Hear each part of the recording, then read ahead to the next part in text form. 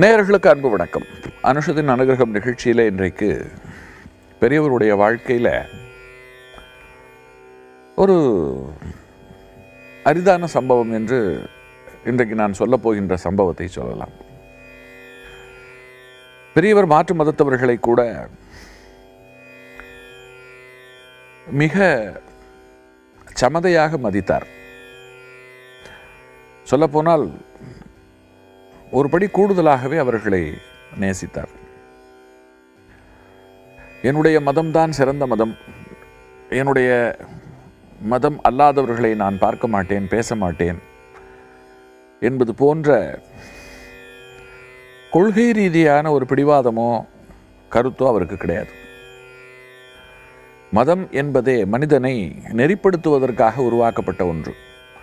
நெறிப்படுத்த உருவாக்கப்பட்ட ஒன்றே அவனை நெறிப்படுத்தாமல் ஒரு தீவிரத்தன்மையிலே சிக்கச் செய்தது என்று சொன்னால் அது நல்ல மதத்திற்கு அழகல்ல. பெரியவரை பொறுத்த மட்டிலே இந்த உலகம் ஒரு மகா சக்தியால் உருவாக்கப்பட்டது. அந்த மகா சக்தி தான் எல்லாவற்றையும் படைத்து இயக்கி கொண்டிருக்கிறது. அந்த மகாசக்திக்கு சைவத்திலே சிவம் என்று பெயர் வைஷ்ணவத்திலே விஷ்ணு என்று பெயர் சாக்தத்திலே சக்தி என்று பெயர். கௌமாரத்திலே முருகன் என்று பெயர். காணாபத்தியத்திலே கணபதி என்று பெயர். சௌரத்திலே சூரியன் என்று பெயர். அவ்வளவுதான். இப்படி ஆறு விதமாக அந்த சக்தியை நாம் துதிக்கிறோம். ஆறு வழி பாதைகளை உருவாக்கி கொண்டு அந்த பாதையில் நடக்கிறோம். பாதை வெவ்வேறாக இருந்தாலும் அனுஷ்டானங்கள் வெவ்வேறாக இருந்தாலும் இலக்கு ஒன்றுதான். இது நமது மண்ணிலே. நமது மண்ணுக்கு அப்பால்பட்ட மண்ணிலே இதே போல் தோன்றிய மதங்களும் ஒரு இலக்கை அடைவதற்காகத்தான். இறைவன் ஒருவனே என்று அவனை அடைப்பதற்கான வழியை அவனை அடைவதற்கான வழியை காட்டுகின்ற ஒன்றாகத்தான் இருக்கிறது. ஒரே இறைவன் இங்கே நம்மையெல்லாம் இப்படி நமக்கு நம்மை நெறிப்படுத்தி வழிப்படுத்தி அதே இறைவன் தான் அங்கே அதையும் செய்திருக்கிறான். இது பரந்த ஒரு பார்வையோடு பார்த்து புரிந்து கொள்ள வேண்டிய ஒரு விஷயம். பூகோள ரீதியிலான வேறுபாடு தூரம் இவைகள் காரணமாகத்தான் பலவித மதங்கள் காலத்தினாலே தோன்றி பலவிதமான வழிபாட்டு முறைகள். மற்றபடி எல்லாருடைய மூல இலக்கும் ஒன்றுதான். அதனால் இஸ்லாமியர்களாக இருந்தாலும் சரி கிறித்தவர்களாக இருந்தாலும் சரி சமணர்களாக இருந்தாலும் சரி அவர்களிடம் இருக்கக்கூடிய நல்ல எல்லா விஷயங்களையும் போற்றுவார். நல்ல விஷயங்களை மதிப்பார். வெகுவாக அவர்களோடு நல்லிணக்கத்தோடு இருப்பார். அந்த வகையில் ஒரு முறை பெரிய புராணம் நூல் இருக்கிறதே அந்த நூலை ஆங்கிலத்திலே ஒருவர் மொழிபெயர்த்து கொண்டு வந்தார். அந்த நூலை வாடிக்கன் நகரிலே இருக்கக்கூடிய போப்பாண்டவருக்கு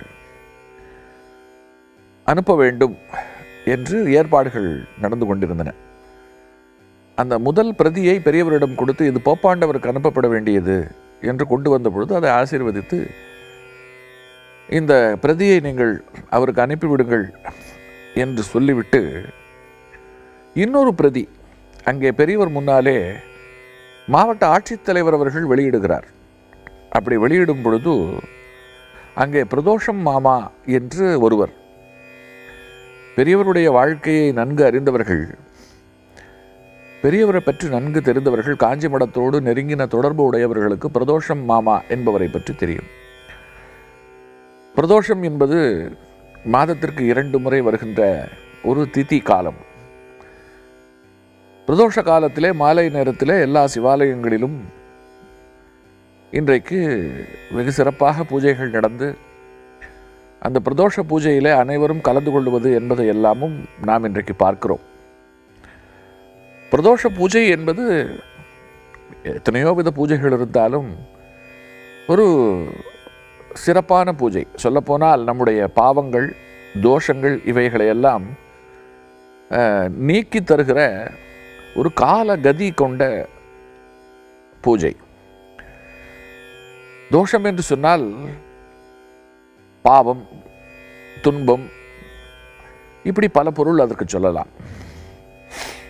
பிரதோஷம் என்று சொன்னால் பிர என்றால் பெரிய பெரிய தோஷம். பிரதோஷ வேலை என்று சொன்னால் பெரிய பாபகரமான வேலை என்று பொருள். அமிர்தம் பெறுவதற்காக பார்க்கடலை கடைந்த பொழுது முதலில் நஞ்சு தான் வெளிப்பட்டது. அதற்கு பிறகுதான் அமிர்தம் வந்தது. அந்த நஞ்சு வெளிப்பட்ட நேரம் இருக்கிறதே அதுதான் பிரதோஷ காலம். ஒரு அரை மணி நேரம். இவ்வேளையிலே உலகம் அழிய இருந்தது. நஞ்சு பரவி சகல உயிர்களும் இறந்து விடுமோ என்கின்ற நிலையிலே அந்த நஞ்சை ஈசனார் தான் வாங்கி உண்டு தன் கண்டத்திலே தேக்கிக் கொண்டார். அதனாலே அவருக்கு நீலகண்டன் என்று பெயர். அந்த வேளையில் நாம் ஒரு நல்லது செய்தாலும் சரி கெட்டது செய்தாலும் சரி அதற்கு பல மடங்கு ஆற்றல். உதாரணமாக தெரியாமல் நாம் ஒரு எறும்பை மிதித்து விடுகிறோம். ஆயிரம் எறும்பை மிதித்த பாவமாக அது மாறிவிடும்.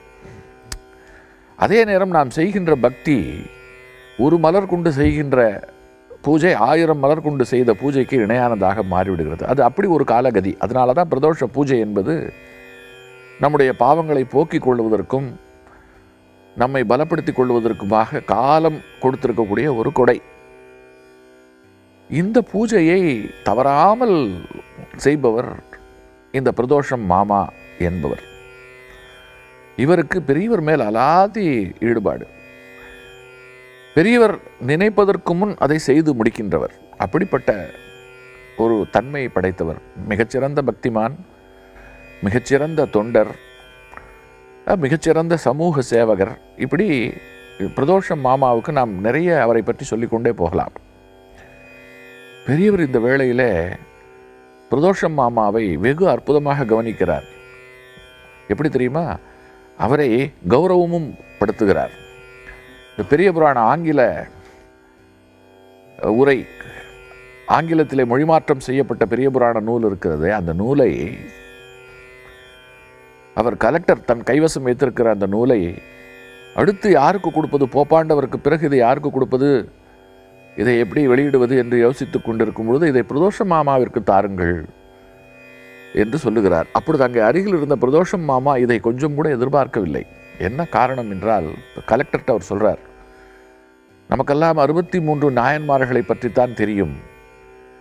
இந்த கால அதற்கு அறுபத்தி மூன்றுக்கு பிறகு அது அறுபத்தி நான்கு அறுபத்தைந்து அறுபத்தாறு என்று எதனாலோ வளராமல் போய்விட்டது. நான் இப்பொழுது சொல்லுகிறேன் இவர் அறுபத்தி நான்காவது நாயன்மார்.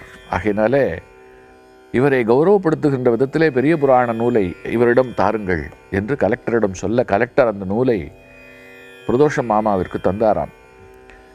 மகா பெரியவருடைய வாழ்க்கையிலேயும் பெரியவர் பிரதோஷ மாமா வாழ்க்கையிலேயும் காண கிடைக்கிற ஒரு அற்புதமான சம்பவம் இந்த சம்பவம். மற்ற மதத்தவர்களோடு அவர் எந்த அளவிற்கு நல்லிணக்கத்தோடு இருந்தார் என்பதற்கும் இந்த சம்பவம் ஒரு சாட்சி இல்லையா? தொடர்ந்து சிந்தி குருவே காம கோட்டி குருவே.